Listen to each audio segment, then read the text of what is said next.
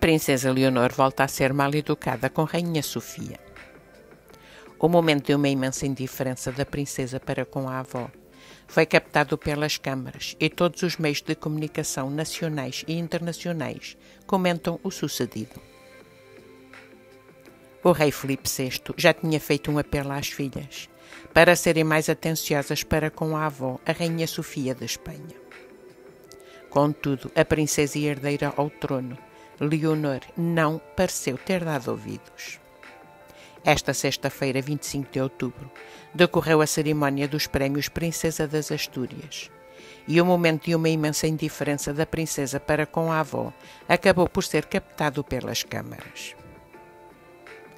Já é do conhecimento público que a princesa Leonor e a infanta Sofia são muito mais próximas da avó materna, Paloma Rocazalanu, do que da avó paterna Sofia.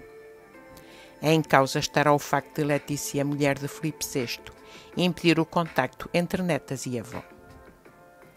Em 2018, na época da Páscoa, foi captado um triste momento entre a princesa Leonor e a rainha Sofia, enquanto estas se apresentaram na Catedral de Palma de Maiorca. Na altura, Letícia foi acusada de impedir as filhas de tirarem uma fotografia com a sogra.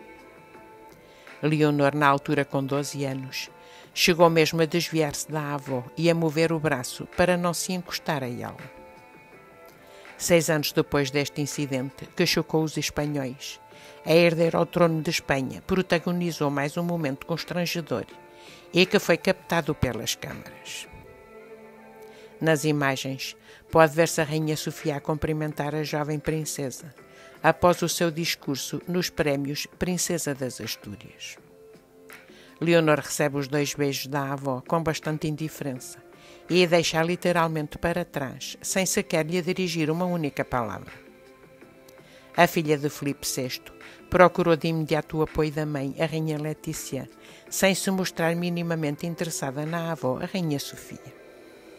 Obrigada por ter assistido ao vídeo. Se gostou, não se esqueça de meter like comentar e subscrever o canal. Um abraço, até à próxima.